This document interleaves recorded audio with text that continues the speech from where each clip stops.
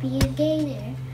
Today is Monday, November 29th, and I am your host, Princess, and I'm in Mr. Moore, Mr. Rickabaugh's class.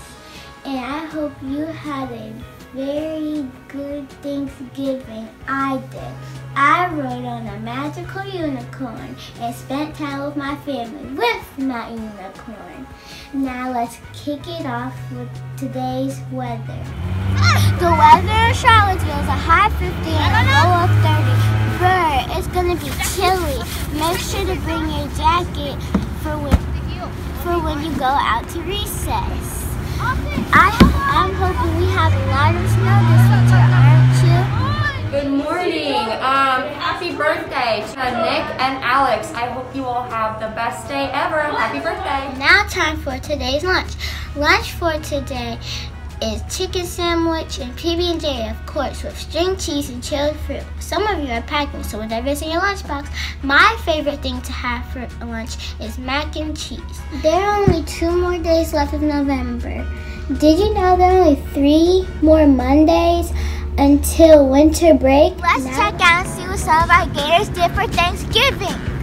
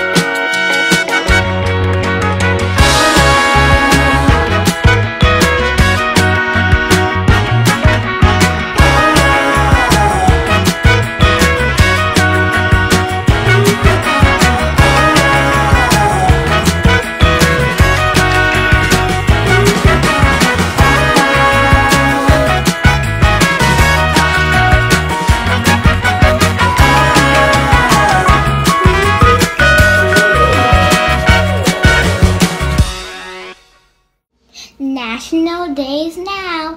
National French Toast Day, National Cyber Day, and National Greetings to All Day.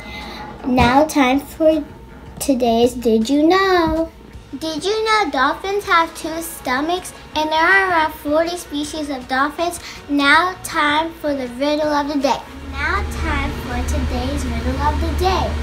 Our last riddle, what goes um um? Answer, a cow walking backwards. Um, today's riddle, why did the dolphin cross the road?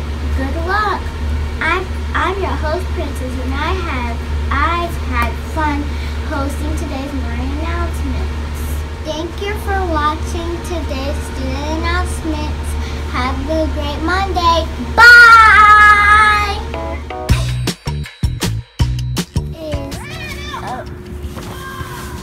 Today is Monday, 29th. Today, our last reading. What goes mm, mm, mm. Ah, I didn't get it right. Okay, ready?